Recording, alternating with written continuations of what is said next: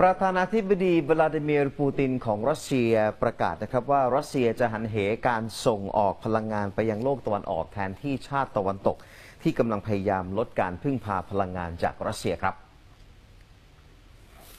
ประธานาธิบดีวลาดิเมียร์ปูตินกล่าวในการประชุมกับภาคพลังงานของประเทศที่มีการถ่ายทอดออกทางโทรทัศน์ เมื่อวันพฤหัสบดีที่ผ่านมาว่าความพยายามของชาติตะวันตกในการตัดการรับพลังงานจากรัสเซีย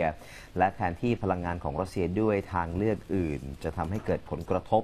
ต่อเศรษฐกิจโลกและรัสเซียจะไม่สามารถหาก๊าซที่อื่น มาแทนที่ก๊าซจากรัสเซียทั้งหมดได้ทันทีนะครับ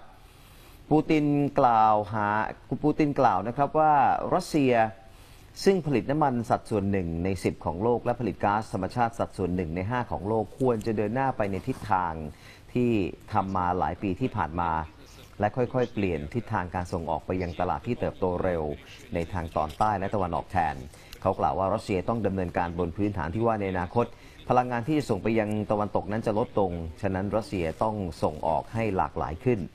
นอกจากนี้ผู้นำรัสเซียยังเรียกร้องให้มีการเร่งโครงการสาธารณูปโภคพื้นฐาน เช่น รางรถไฟ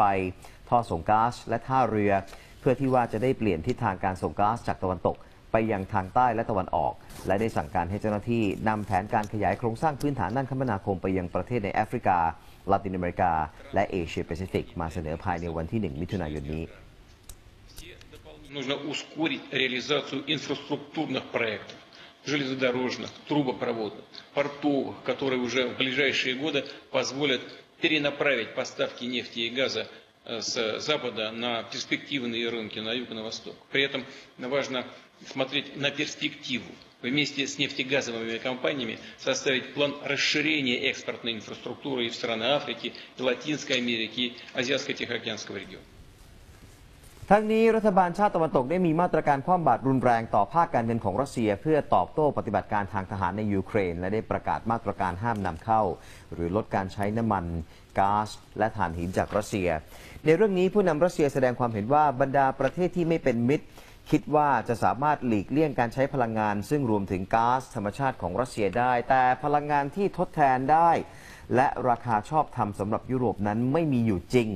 ทุกคนเข้าใจดีว่าไม่มีแหล่งพลังงานฟรีในตลาดโลกสำนักข่าวอัลจซีรารายงานว่ารัสเซียส่งออกก๊าซไปยัง EU ราว 40%ของก๊าซที่ใช้ทั้งหมดใน EU และมาตรการคว่ำบาตรรัสเซียจะส่งผลกระทบต่อการส่งออกพลังงาน ซึ่งเกิดความยุ่งยากในแง่การเงิน และการขนส่งของข้อตกลงเดิมที่มีอยู่แล้วขณะที่รัสเซียได้มีการเปิดท่อส่งก๊าซไปยังจีนในช่วงปลายปี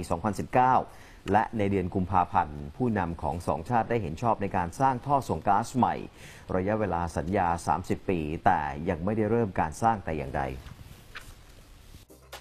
ขอบคุณที่รับชมรายการ Chin N World Today นะคะ อย่าลืมกด subscribe กดกระดิ่ง กดไลค์ กดแชร์ ในทุกช่องทางออนไลน์ของ Chin N ช่อง 16 ค่ะ เพื่อที่ว่าจะได้ไม่พลาดการรับชมรายการสดและคลิปวิดีโออื่น ๆ ที่น่าสนใจอีกมากมายค่ะ